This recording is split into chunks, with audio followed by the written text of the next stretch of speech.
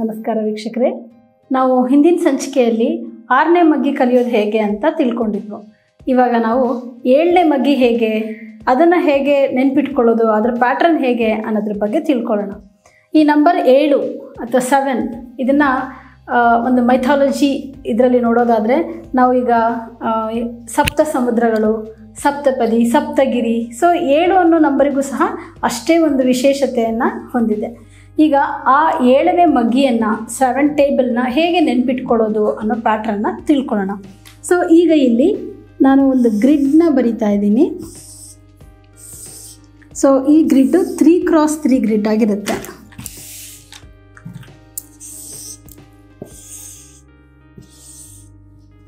So let me consider a three cross three grid ತಗೊಳ್ಳೋಣ.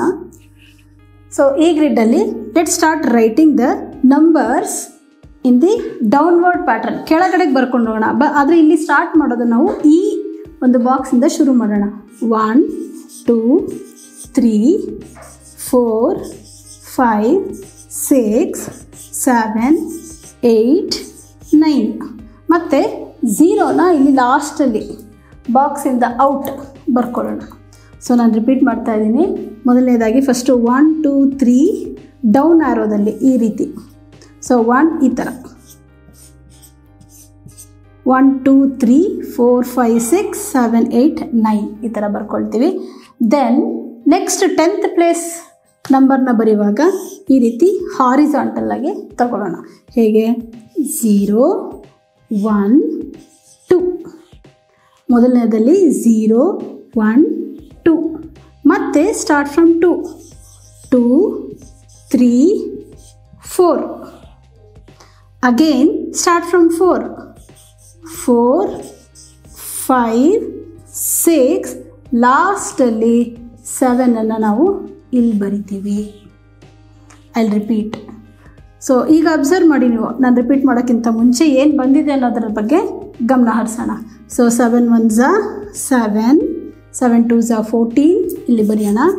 Seven one ಝಾ seven seven two ಝಾ ಏನು ಬಂದಿದೆ? Fourteen seven three Jha twenty one seven four Jha twenty eight seven five Jha thirty five ಮತ್ತು seven six forty two seven seven forty nine seven eight fifty six seven nine sixty three seven tens seventeen so ನಮಗೆ ಏಳನೇ ಮಗ್ಗಿ ಸಿಕ್ತು. ಈ ಕಾಲಮ್ನ ಹೇಗೆ ಬರ್ಕೊಳ್ಳೋದು, ಈ ಗ್ರಿಡ್ನ ಹೇಗೆ ಬರ್ಕೊಳ್ಳೋದು ಅಂತ ಇನ್ನೊಮ್ಮೆ ರಿಪೀಟ್ ಮಾಡ್ತಾ ಇದ್ದೀನಿ. ಫಸ್ಟು ತ್ರೀ ಕ್ರಾಸ್ ತ್ರೀ ಗ್ರಿಡ್ಡನ್ನು ಬರ್ಕೊಳ್ತೀವಿ. ಸೊ ಫಸ್ಟು ಡೌನ್ವರ್ಡ್ ನಂಬರ್ ಬರೀರಿ. ಯಾವುದಕ್ಕೆ? ಯೂನಿಟ್ ಪ್ಲೇಸಿಗೆ one two three four five six seven eight nine ಬರಿತೀವಿ. ಇದು ಡೌನ್ವರ್ಡಲ್ಲಿ ದೆನ್ ಮತ್ತೆ ಹಾರಿಸಾಂಟಲ್ ಆಗಿ ಇದು ವರ್ಟಿಕಲ್ ಆಗಿತ್ತು. ಇವಾಗ ಹಾರಿಸಾಂಟಲ್ ಆಗಿ ಫಸ್ಟ್ ರೋ ಇಂದ ಶುರು ಮಾಡಿ ಝೀರೋ ಒನ್ ಟೂ ಇಲ್ಲಿಗೆ ಎಂಡ್ ಆಗಿದೆ. ಮತ್ತೆ start from two three four ಯಾವ ನಂಬರಿಂದ ಎಂಡ್ ಆಗಿದೆ? ಅದೇ ನಂಬರಿಂದ ಮತ್ತೆ ಸ್ಟಾರ್ಟ್ ಮಾಡ್ತೀರಾ. ಸೊ ಫೋರ್ ಫೈವ್ ಸಿಕ್ಸ್ ಲಾಸ್ಟಿಗೆ ಸೆವೆನ್ ಅಂತ ಬರಿತೀವಿ.